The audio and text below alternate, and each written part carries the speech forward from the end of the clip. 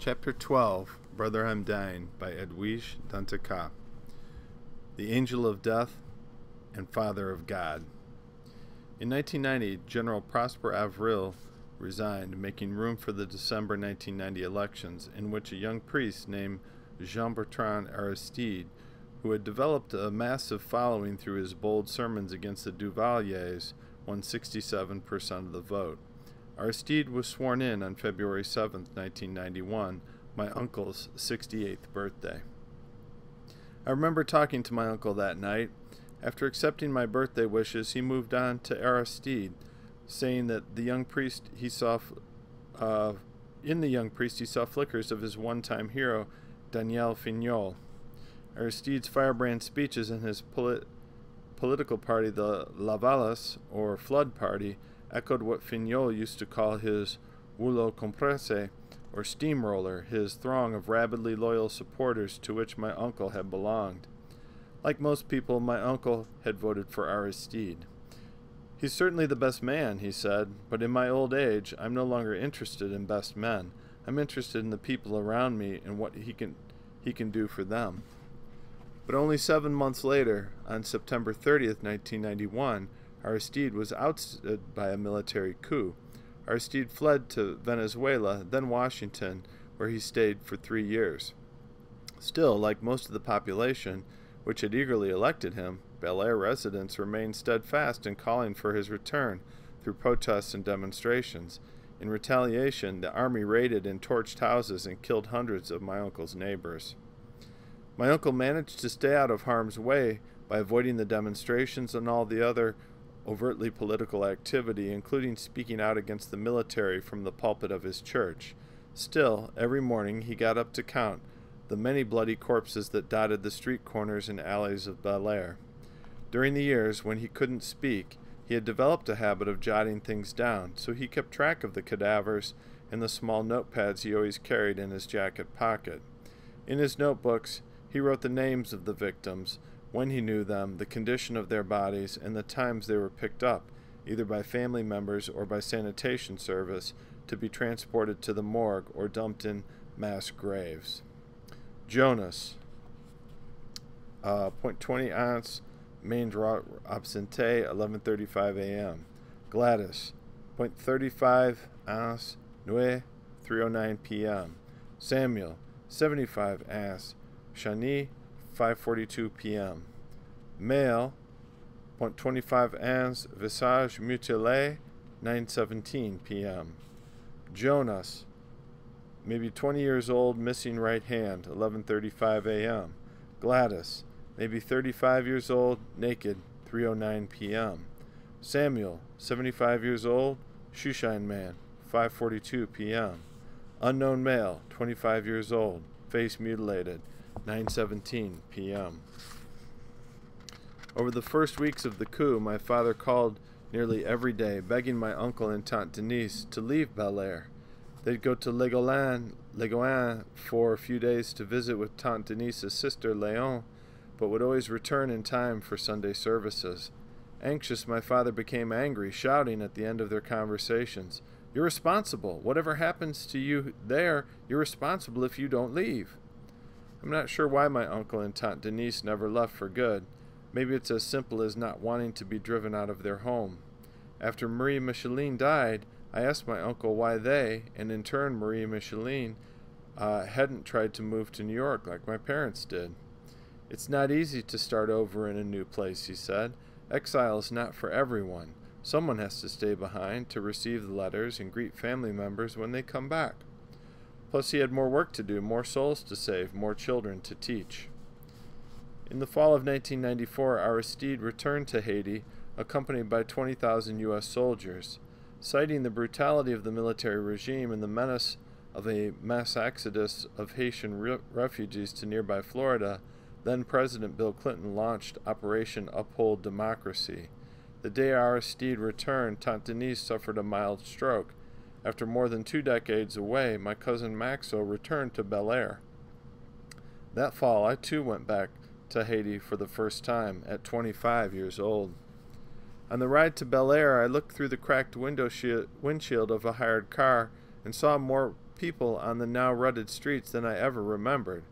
On nearly every wall was a mural of a rooster, the symbol of Aristide's Lavalas party, or of, a, or of the American military helicopter on which Aristide had flown back to the National Palace. There were also monuments to losses everywhere the charred shanty towns of La Saline and Cite Soleil, uh, the busts and friezes of the murdered, a justice minister, a campaign financier, and a beloved priest among thousands of others. Piles of brick and ashes stood where homes and offices had been, places that had been both constructed and destroyed in the time I'd been gone. Chunks of Port au Prince, I realized, had been wholly uh, assembled and disassembled in my absence. In many other ways, however, very little had changed. The crippled beggars were still lined up on the steps of the National Cathedral and used booksellers scattered stands across from it. The waterwomen still carried by the bucket on their heads. The colorfully painted lottery stands were still selling hundreds of tickets to hopeful dreamers. The visa applicants were still gathered in droves at the gates of the American consulate. My uncle's street was now crammed with oddly shaped, unfinished concrete homes. The alleys were gutted and filled with trash, yet when he showed me the list of casualties written in handwriting so tiny he had to help me decipher them, all I could see was Jonas, Gladys, Samuel, and hundreds of men and women who died, their mutilated bodies eternally rotting under the boiling sun. Uncle Joseph and Tante Denise's apartment was painted pink like the old house, except the dining room overlooking the tiny courtyard, which was bright turquoise. Tante Denise was considerably thinner, her movements measured and slow. Her hair, which had begun and then stopped dying, which she had begun di- begun and then stopped dying, was bright red at the tips and gray at the roots.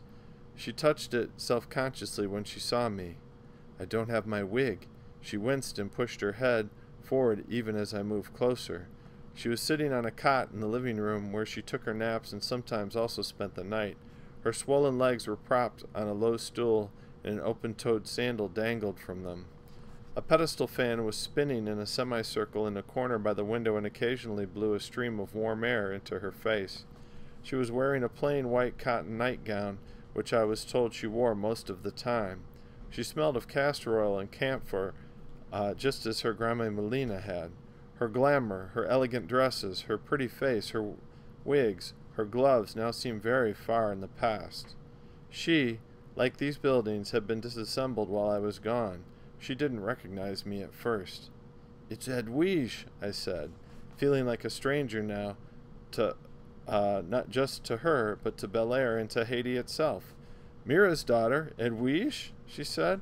Her lower lip was drooping, slightly slurring her speech. Grabbing my, ha- my hand with more strength than I expected, she pulled me down on her lap as if I were still a child. Edwidge, let me tell you a story, she said, pressing her elbows hard into my ribs. The story she told slowly, haltingly, with her arms braced tightly around my body, was about God and the angel of death. It was one of Grandma Melina's stories, one that Grandma Melina said you told uh, to keep death away. In the end, Grandma Melina stopped telling that story because she wanted to die. One day, began Tante Denise, a line of drool trickled from one side of her mouth, which I kept dabbing with the towel that draped the back of the chair.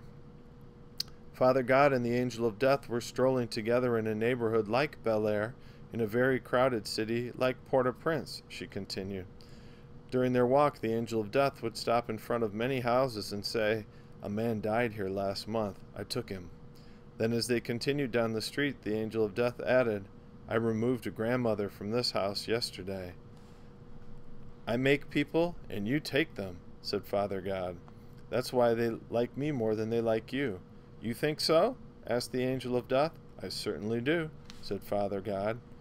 If you're so sure, said the angel of death, why don't we both stop here on Rue Terrasse and ask the same woman for a drink of water and see what happens. So Father God rapped on the nearest door, and when the lady of the house opened it, said, Madame, can I trouble you for some water? No, the woman answered, irate. I don't have any water to spare. Please, said Father God, I'm parched. Sorry, said the woman, But I can't spare any water. The public tap has been dry. The public tap has been dry for days, and I have to buy water by the bucket from the water woman, who's doubled the price. So I only have enough water for myself and my family. I'm sure you'd give me some water if you knew who I was, said Father God. I don't care who you are, said the woman. The only one I'd give my water to now is the angel of death. But I'm God, insisted Father God. Why would you give your water to the angel of death and not to me? Because, the woman said, the angel of death doesn't play favorites. He takes us all, lame and stout, young and old, rich and poor, ugly and beautiful.